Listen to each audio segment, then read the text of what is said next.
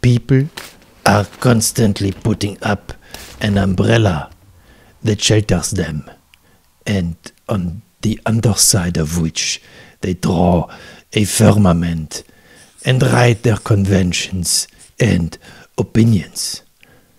But poets, artists, make a slit in the umbrella.